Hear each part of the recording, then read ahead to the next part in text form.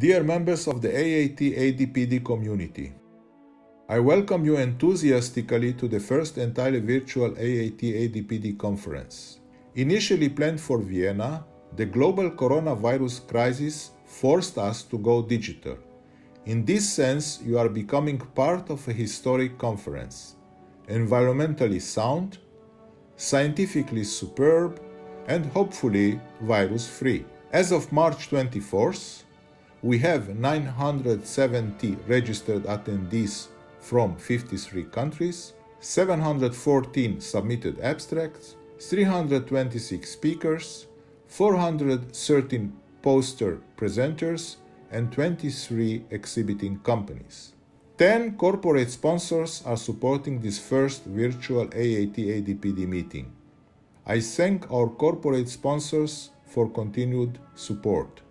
Kenes for mounting a heroic effort to get this virtual congress going, and I thank you for logging on and joining our community via the web. Hopefully, this crisis will be over to meet in person for ADPD 2021 in Barcelona and for AAT ADPD 2022 in Lisbon. Dear colleagues and friends, these are historic and difficult times, and while unwanted and regrettable, we are trying to make the best out of them by zooming in advances in therapy. Among the many lessons we have learned from this crisis is the insight that advances in the therapy continue to be desperately needed. The advances on Alzheimer therapy conferences that we called Springfield because they were founded in 1988 in Springfield, Illinois. In 2018, AAT, DX Springfield, fused with ADPD to continue the AATT tradition with a very strong emphasis on treatment. This allowed us to broaden our approach to include therapy for multiple neurodegenerative pathologies, of course, with a special focus on Alzheimer and Parkinson disease. Today, we have reached yet another milestone. First digital congress on advances in AD and PD therapy I welcome you to our first virtual Congress. I hope it will bring you many insights and new ideas that can turn into tangible advances for the patient and families who are relying on us. Thank you. Dear friends and colleagues, dear members of the ADPD family, for ADPD, the science of finding solutions for patients with Alzheimer's or Parkinson's disease has always been in our DNA. The science remains our top priority even in these challenging times. With even greater drive, we should exchange data and share scientific insights. It is the elderly population who faces a huge risk with the coronavirus the very same women and men we want to help with our ADPD therapies.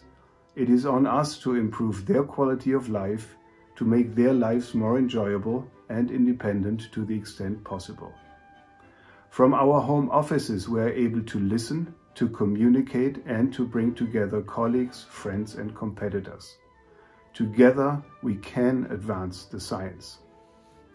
I feel for our clinical colleagues working day and night in hospitals around the world in the fight for lives and in the fight against the virus, making tough decisions, keeping up morale under enormous stress. Hopefully, you will find a few hours of rest and spend some time with what you love, the science of clinical medicine and the quest for cure of neurodegenerative diseases. The collaborative spirit and the momentum academia, biotech, and the pharmaceutical industry have unleashed in the past days and weeks is very impressive. Let's be inspired by this collaborative spirit. I am hopeful that we will learn from that spirit to bring significant advances to Alzheimer's and Parkinson's diseases in the years to come. It is a joint effort. Today, we can make sure that advances in Alzheimer's and Parkinson's therapy will survive this crisis. Thank you so much for joining us online. Dear colleagues, as a clinician scientist, I am happy to welcome you to AAT ADPD at a very challenging time. Thanks to Kenes, we can communicate almost normally, and I'm proud to tell you that we have a fantastic scientific program to share with you. For the first time in more than 20 years, we are witnessing an emerging era of novel treatments moving towards regulatory review. Disease modification is on the horizon for the first time in decades. New approaches bring new hopes, but they also challenge us. We need to learn even more about the underlying biological mechanisms, pharmacological principles, and their clinical applications. The 2020 AAT ADPD program combines all of these disease biology, novel therapeutic targets, diagnostic markers, advanced brain aging, and clinical trial results. Dear friends, dear colleagues, dear members of the AED, ADPD family, extraordinary times. Take extraordinary measures, and the current coronavirus crisis has prompted us to take such an extraordinary measure. The first time AAT ADPD 2020 will be held as an entirely virtual meeting. Instead of meeting in person, we will meet over the web.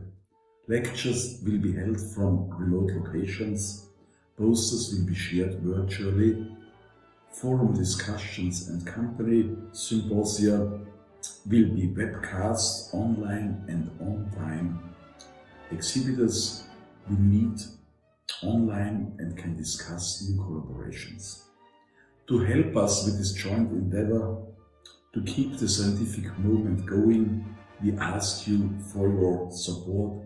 Stay with your commitment to AAT ADPD 2020 and join us online, please. The AAT ADPD tech teams at Kenes are mounting extraordinary efforts to get this job done within the next weeks. Thank you very much for your continued support. Hopefully, this crisis will be over soon and we will be able to meet in person again at ADPD 2021 in Barcelona and at AAT ADPD 2022 in Lisbon.